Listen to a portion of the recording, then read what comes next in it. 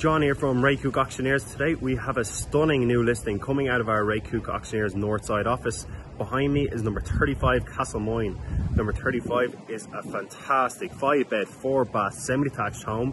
It's spanning over 3 stories and it's just under 2,000 square foot. The property itself is located just off the Malahide Road in Balgriffin. Number 35 is coming to the market in turnkey condition throughout. You have high quality flooring and appliances. It's been recently refurbished. You have a cobble lock front driveway, a gated side entrance, a low maintenance rear garden. The list goes on and on. The location here is excellent. You're just down the road from the M1, the M50. You're close by Dublin Airport. There, there's excellent primary secondary schools close by. You're also within close proximity of Malahide, Howth and Portmarnock, so you have a host of amenities close by.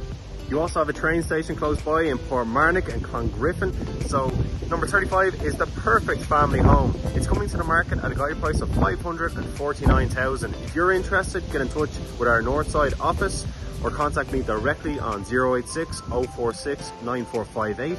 But first, let's go take a look.